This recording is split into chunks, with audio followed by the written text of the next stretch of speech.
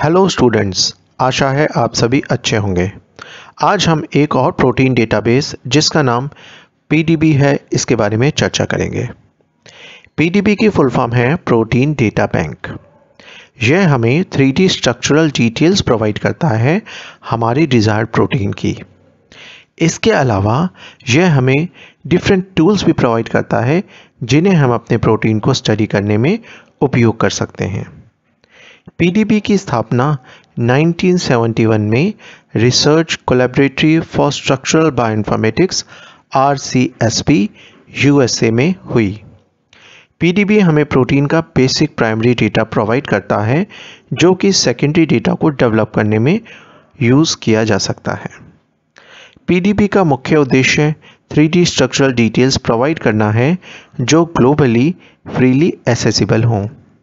PDB का website address है www.rcsp.org तो चलिए ओपन करते हैं पीडीबी का होम पेज इसके होम पेज पर लेफ़्ट साइड में डिफरेंट ऑप्शंस हैं, जैसे deposit search visualise analyse download learn right side में हमें मॉलिक्यूल ऑफ़ द मंथ दिखाई दे रहा है। यह मॉलिक्यूल को मंथ वाइज रिप्रेजेंटेशन देते हैं इसके सर्च के आधार पर। हमें यहाँ एक सर्च टैब भी मिलता है, जिसे हम यूज़ कर सकते हैं अपने मॉलिक्यूल को सर्च करने में। जैसे मैं यहाँ लिखता हूँ थाइमोसिन बीटा नाइन यह एक प्रोटीन है, और सबसे पहले इस प्रोटीन की स्ट्रक्चरल समरी ओपन हो जाती है। इसका पीडीबी आईडी है वन एच जे ओ इसकी क्लासिफिकेशन इसके ऑर्गेनिज्म की डिटेल्स इसका म्यूट्रिशनल वर्क जो कि नहीं हुआ है, कब डिपॉजिट हुआ, इसके ऑथर्स की डिटेल मेथड जो इसमें यूज़ हुआ है, वो एनएमआर है, इसके बारे में जानकारी है। नीचे, इसके पब्लिश पेपर के बारे में जानकारी है, जिसमें ये डिटेल इन्फॉर्मेशन दी गई है। इसके नीचे, हमें मैक्रोमोलिक्यूल जो हमारा प्रोटीन है इसकी कितनी चेन है? जैसे हमारे केस में ये मोनोमर है, इसकी एक ही चेन है जो कि ए है।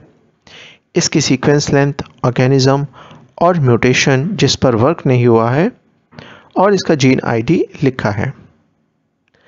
इससे नीचे हमें एक ग्राफिकल रिप्रेजेंटेशन दिखाई दे रहा है।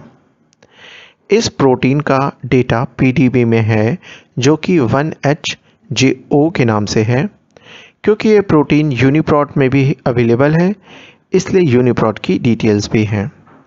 और इन दोनों डेटा में कोई मिसमैच नहीं है। अगर होता तो इसका भी इंडिकेशन यहाँ पर होता। हाइड्रोपैथी का मतलब है यह हमें हाइड्रोफिलिक और हाइड्रोफोबिक अमीनो एसिड के बारे में जानकारी देता है। जैसे यहाँ ब्लू बार रिप्रेजेंट कर रहा है, इस प्रोटीन में खाली हाइड्रोफिलिक अमीनो एसिड हैं, और अगर इसमें पिंक बार भी होता तो वो हाइड्रोफोबिक अमीनो एसिड की प्रेजेंस रिप्रेजेंट करता। इस प्रोटीन में मैक्सिमम डिसऑर्डर है, जो पिंक बार से रिप्रेजेंट हो रहा है। यह शायद हाइड्रोफोबिक अमीनो एसिड की कमी से भी हो सकता है। नीचे डिसऑर्डर्ड बाइंडिंग पैटर्न दिख रहा है मैक्सिमम पिंक रीजन में। इससे भी नीचे इसका एक्सपेरिमेंटल डेटा है और लास्ट में इसकी पूरी हिस्ट्री है। लेफ़्ट साइड में इनिशियल सबमिशन और राइट right साइड में किस किस ईयर में इसका रिवीजन आया है, इसके बारे में भी जानकारी है। आशा है दी गई जानकारी आपके लिए उपयोगी होगी। नेक्स्ट वीडियो में हम पीडीबी में यूज़ होने वाले इसी प्रोटीन के डिफरेंट टैप्स को स्टडी करेंगे। आज का सेशन यहीं तक है। इस सीरीज़ को पूर्ण योगदान देने के लिए मैं अर्चना मैम का हृदयपूर्वक धन्यवाद देता हूँ।